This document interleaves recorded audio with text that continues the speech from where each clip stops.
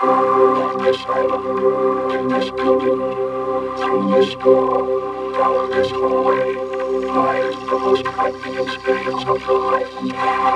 Picture yourself for thinking from within if you think you're not afraid of the dark.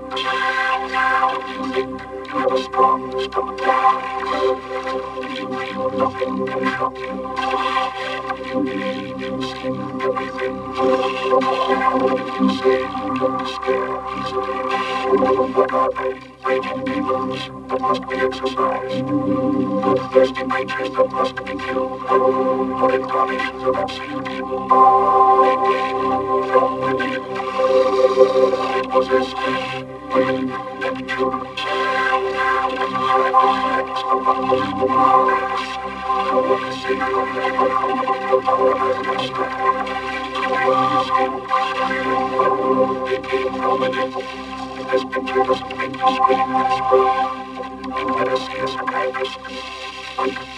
make you